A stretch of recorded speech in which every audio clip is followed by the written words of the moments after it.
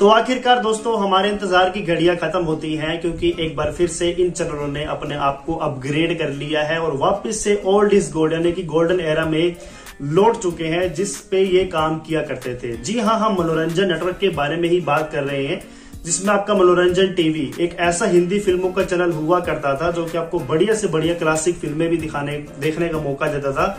और अच्छी खासी हिंदी फ़िल्में आपको जो है यहाँ पर देखने को मिल जाती थी।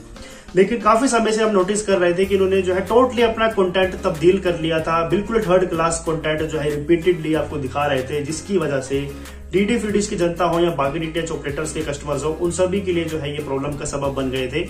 बेकार कंटेंट देखना कोई चाहता नहीं और बहुत से लोगों को जो है हिंदी फ़िल्मों से वंचित होना पड़ रहा था। लेकिन फाइनली मनोरंजन ग्रुप को रियलाइज़ हो गया है कि जो उनकी असली पहचान है वो उनको बरकरार रखनी चाहिए।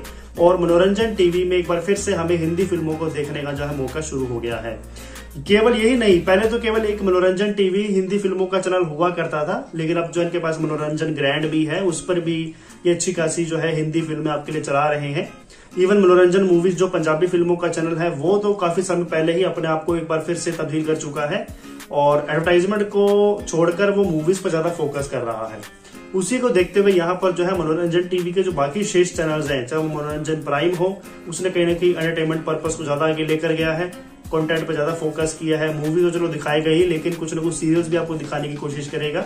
इसके अलावा जो मनोरंजन ग्रैंड हो गया या फिर मनोरंजन आपका जो टीवी है, ये आपको अच्छी खासी हिंदी फ़िल्में दिखाने वाला है।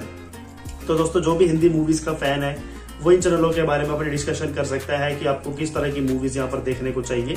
वैसे जो भी अभी रिसेंटली मैंने नोटिस किया है, काफ़ी अच्छी खासी फ़िल्में इस चैनल पर देखने को मिल रही है, जो कि बहुत बढ़िया बात है। फालतू कंटेंट से जो निजात मिली है फाइनली और अच्छी खासी मूवीज़ को एक बार फिर से हमें देखने का मौका मिलेगा, जो कई सालों पहले हम मनोरंजन टीवी पर देखते आ रहे थे। तो दोस्तों, एक सबसे बड़ी गुड न्यूज़ थी जो कि मनोरंजन ग्रुप की ओर से हमें मिली है। उम्मीद करता हूँ कि आपको भी पसंद आई होगी। अगर आपको यहाँ पर इसके बारे में और कुछ जानना हो या किसी विषय के ऊपर वीडियो बनवानी हो तो नीचे कमेंट बॉक्स में आपका बहुत स्वागत है। नमस्कार।